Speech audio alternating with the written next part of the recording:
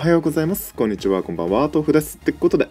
今日も元気にサカツクやっていきましょう。よろしくお願いします。今日は何をやっていくかと言いますと今月の更新が来た曜日マッチについての話をさせていただきます。選手を優先度 ABC の3段階で分けましてまあどこの選手をね優先的に取りに行ったらいいのかっていう話をします。でその前に2点お知らせがありまして、えー、まず1点目はですね、えー、Twitter のことです、えー、まだまだ不慣れでですね、まあ、不慣れを言い訳にしてはいけないんですけれどもフォローしてくれた方への一括フォローのやり方とかがちょっとわからなくて、えー、フォローが間に合ってない方がいらっしゃいます。申し訳ございません。あとですねあのなかなか何をつぶやいたらいいのかわからなくて退屈なものになってしまっているかもしれないんですが、えちょっとずつねあの他の方のつぶやきも真似していろいろやっていこうかないろいろやっていくっていうかまあ普通につぶやいていければなと思ってますのでまあ生温かい目でねあの見守っていただけたらなと思います。でもう1点がですね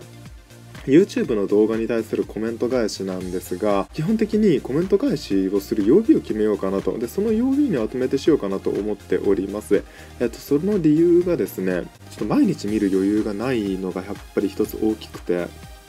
えー、ってなると返せる時と返せない時でね例えば1週間ぐらいラグがあったりすぐ返せたりっていうのがあるのでまあ、あの決まった日にやろうかなと思っております。あの初心者の方とかって急ぎで聞きたいことがあったら Twitter のメッセージ飛ばしていただけたらですねあのそのメッセージで答えさせていただきますので、まあ、それもねあのすぐにとは言わないすぐにできるとは言わないんですけれども YouTube のコメントの容量は早いのでもし何かねもう本当に急ぎで聞きたいことがあったら、えー、Twitter メッセージでお願いします。ということで、えー、すいませんちょっとね前置きが長くなってしまったんですが今回の予備マッチ見ていきましょう。さあ今回の曜日マッチなんですが選手5人来ていて、えっとですね、今回比較的に、えっと、前もって言っておくと全選手の優先度合いが高いです。で曜日マッチで例えばねインターナショナルカップに追加されてない国の選手が来ることもあるんですがインターナショナルカップおそらくこれから先にまた国が追加されると思います。で同じようにインターナショナルカップマスターも徐々に国が追加されていくと思うんですね。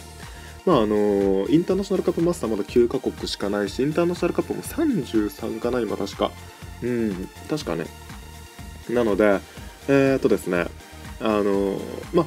その時のためにね、追加された時のために取っておくっていうことを踏まえて、えー、聞いていただけたらなと思います。ってことで、まず月曜日ですね、デンマークのセンターフォワード、ストライカー、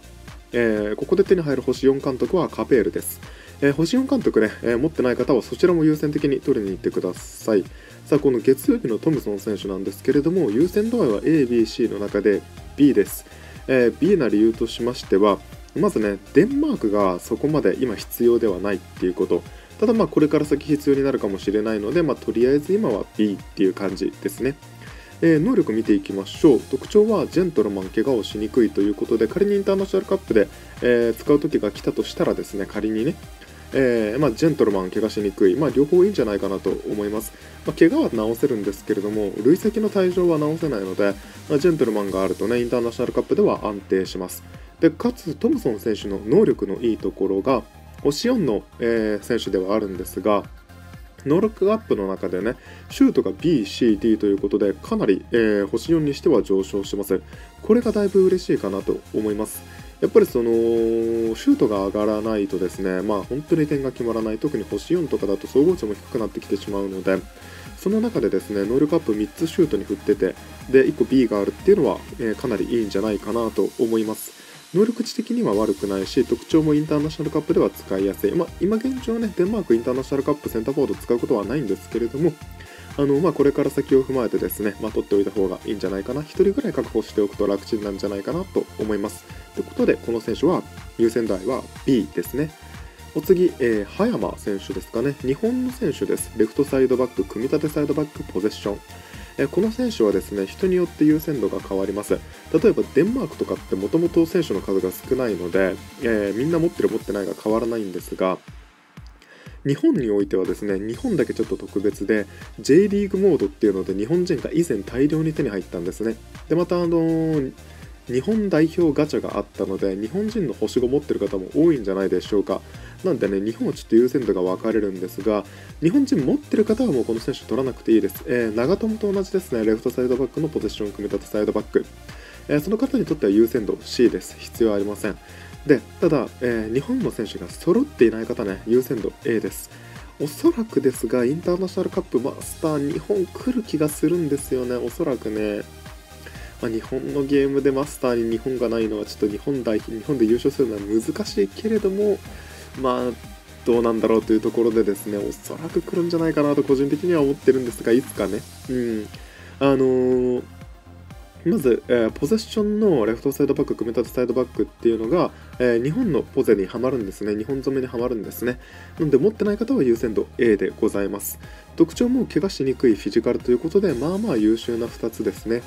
でスキルは普通なんですが、えー、ノールカップのところが個人的にはかなりいいと思っていて、えタックル、マーク、パスカット、まあ、サイドバックらしくちょっと上がります。でもう1個はね、組み立てサイドバックらしくパスの能力値がすごく高いです。なんでね、えー、もともと展開力持っててダイナミックフィード持ってるので、どんどんパスで展開してくれるんじゃないかなと思います。かつキープ、キープということで、スタミナとかね、メンタルに振りがないっていうのも、えー、個人的には高評価ですね。えー、レフトサイドバック日本でちょっといないよっていう方は、えー、取っておきましょう。こちら優先度 A です。日本弱いんでね。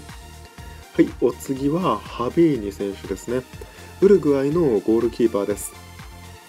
えーとですね、で監督はクロップなんですが、この選手の優先度合いは個人的には B です。というのもですね、ウルグアイってガチャの選手いないわけじゃないんですよね。まあ、スアレス、カバーニはもちろん当然のツートップとして、まあ、ライトウィングのフィニッシャーとか、まあ、いないことはないんですが、ただですね、やっぱブラジル、アルゼンチンに比べたら、まあ、少ないかな、まあ、ブラジルが今すごい多いんですけど、アルゼンチンとかコロンビアに比べて、うんまあ、コロンビアはあのツアイブも来ましたしねちょっとやっぱりウルグアイってあの前線以外が揃いにくい国なんですよねもちろんあの前線揃ってればいいよって方もいらっしゃるかもしれないんですがあの一応それでもですね星4のゴールキーパー希少ですでスイーパーということで若干の使いにくさはあるもののですもののですね、まあ、1人いるのといないのじゃ全然違うかなと思います、まあ、それでもウルグアイ自体結構選手が豊富な国ではあるのでそこまで必須ではないんですがやっぱり、えー豊富ではあるけど強いわけではないっていうのがねウルグアイの難しいところで、えー、1人取っておいたらいいんじゃないかなと個人的には思います、まあ、能力とか特徴に関してはゴールキーパーなんでちょっと話すことはね話すことは全くないんですけれども、えー、まあ取っておいた方がいいということで B です。はい。C とまでは言えないね。で、A とまでも言えない。はい。お次がバケロですね。えー、イランのインサイドハーフ、えー、OMF と、まあ、この選手はね、あの初めから口を酸っぱくして、えー、他の動画でも言ってる通り優先度 A です。まあ、あえて言うなら S ですね。S、S、S、A、A、うん、そんぐらい。えー、というですね、まずそもそも 特徴はね、連携フィジカルもあると正直微妙ではあるんですが、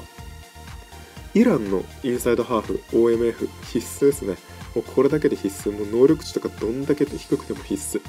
しかもですね、一応見ると、シュート BC、トラップ DE、パス BC ということで、ビルドアップもできるし、自分で打つこともできるというね、星4選手の中ではかなりいい能力構成なんじゃないかなと思います。はい。もうこの選手は本当に貫突してしまってもいい選手だと思います。うん。優先度 A の選手はね、基本的にはもう貫突していきましょう。まあ、あの前線ね、6周するのがめんどくさいとかもあると思いますので、まあ、そうなったらですね、無理に、え、6周せずに、まあ、あの限界突破素材使っちゃっていいんじゃないかなと思います。まあ、インターナショナルカップ用ぐらいにしか星4の限界突破素材って使うところないので、貯めててもね、宝の持ち腐れなので、あのラストエリクサー症候群にならないように優先的に、えー、弱いインターナショナルカップのね、星4選手に使っていきましょう。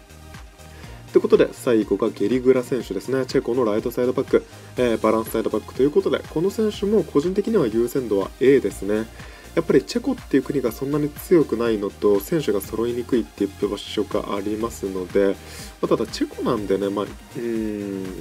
A だな、やっぱ。うん。デンマークはまだやっぱりそのガチャで結構エリクセンとかをね、引いた方もいらっしゃると思うんですけれども、まあ、チェコって本当にいないんだよね。マジでいないね。うん。